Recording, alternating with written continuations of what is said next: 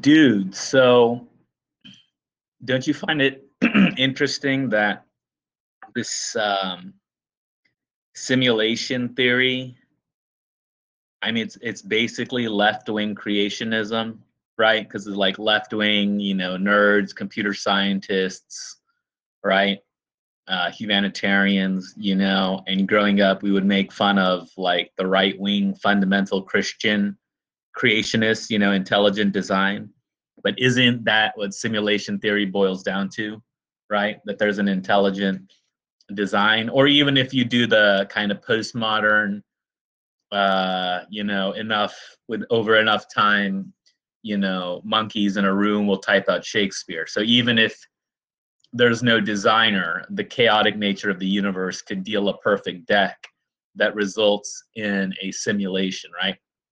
But whether it's um, left wing simulation theory or right wing simulation theory, aka intelligent design, right? The mechanism is still memory. And here's what's fascinating even if, or let's just say, there's no simulation theory at all, and it, it is what it is, okay? This being the one existence that that is either way it's memory that is the vehicle for the simulation. I mean let me put it this way. If we have a conversation about high school right we're relating to each other along certain points or nodes of memory. And if one of us has faulty memories the relation the conversation isn't going to work you know? I, I witnessed this this uh, this morning. My mom was talking to her sister-in-law and my mom was perhaps misremembering stuff from India a long time ago, and you could tell the sister-in-law that's in India right now is is a little frustrated, right, in the conversation. And so this is where that holographic layer, okay, is just so vital to filling in those memory gaps. I mean, if I'm talking to you and I'm hazy about, you know, oh, Mr. Bowen or Mr. Wu, who did I have first? And, you know, and then you're trying to clarify, on the other hand, if while I'm talking to you, I have the heads up display that shows me clearly, you know, oh, I had Mr. Bowen first and then Mr. Wu, ninth grade, 10th grade, whatever, you know, there's no confusion over this stuff. So it's just so obvious what that holographic layer would be about and that it's always under the control of the user. That's why I don't understand the, this, this, it's a false what I call, or what has been called the Hegelian dialectic, a false dialectic over, oh, is an automated car safer for humans, you know, or is automation safer, or is AI better? And that to me is just such a false construct because any tool you know requires an operator and if the operator can't stop using that tool then it's not a tool it's a trap so to be very clear with our grammar or our lexicon, I guess, you know, um, what are we talking about? You know, matrix systems that are going to entrap people or tools that empower them to accomplish a given task. And so this holographic layer is all assistive, but if I don't need it or it's getting in the way or whatever, you know, I I I just turn it off, you know, and I go back to my analog data set and um, as long as i'm and so the and the holographic layer should always be i mean this whole recursive algorithm is to make you a better human being.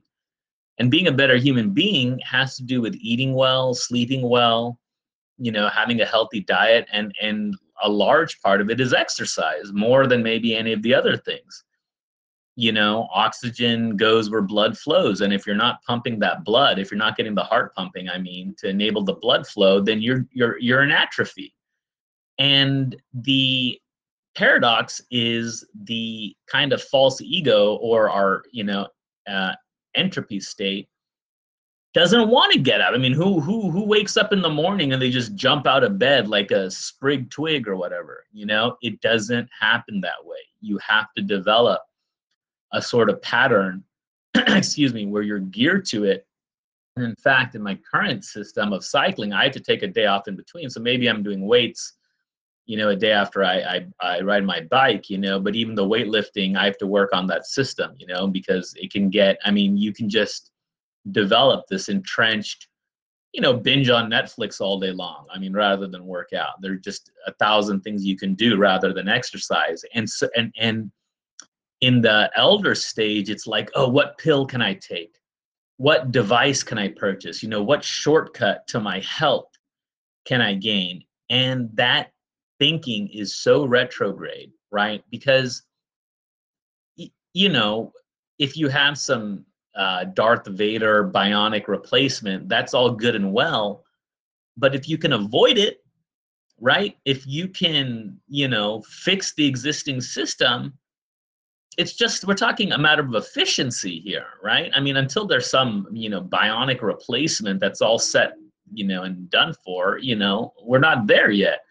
And we may never be and that just may not be a desired end you know or or it's only you know the next phase where this body is just beyond repair but while it can be repaired i mean this is what we're leaving out of this whole thing is when you go up when you when you ride up a hill you're building up all this potential energy okay and the feeling of release when you come down the hill the kinetic energy may sort of end at the bottom of the hill but there's like an internal internal gear that picks up Excuse me. And so what I'm trying to say is just well known to anyone that works out or exercises. I mean, afterwards, they feel better. You know, even someone like my dad that doesn't exercise often. I mean, afterwards, he just feels better. He looks better. He sounds better.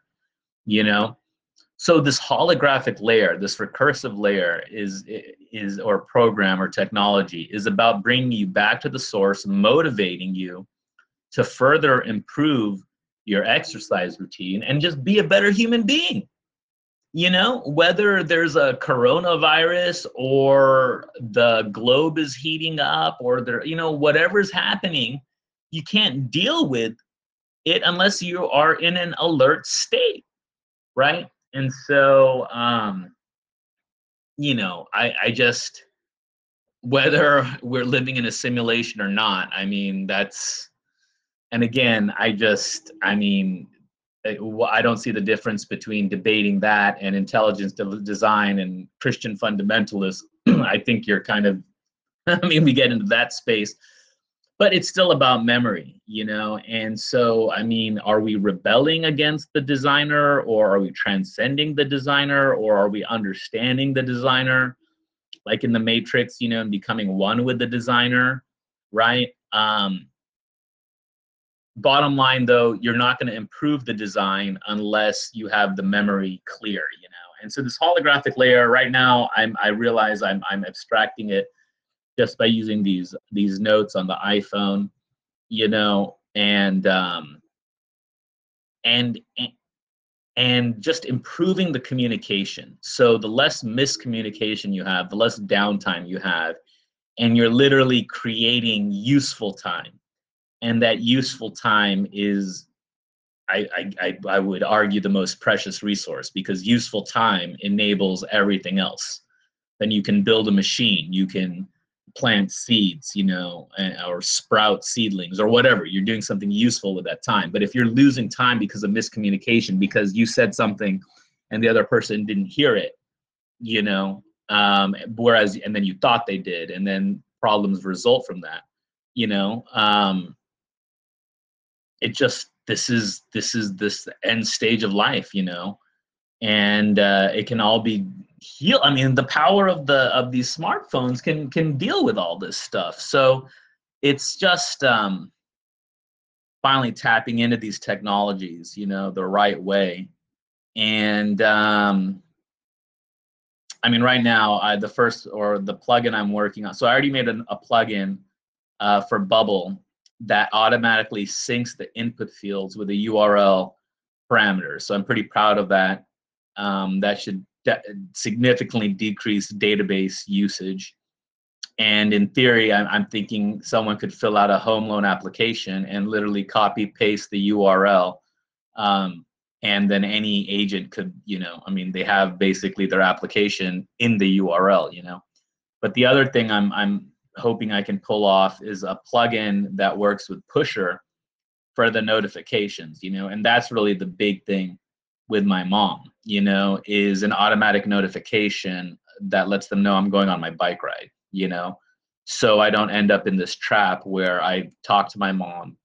She says, "Okay, you're going on your bike ride," and then I go, and then you know I come back home, and it's like, "Oh, you didn't tell us," you know, and so um, yeah, I could just do a text message or whatever, but like a simple status update, something that gets pushed, you know, the push notifications to the phones.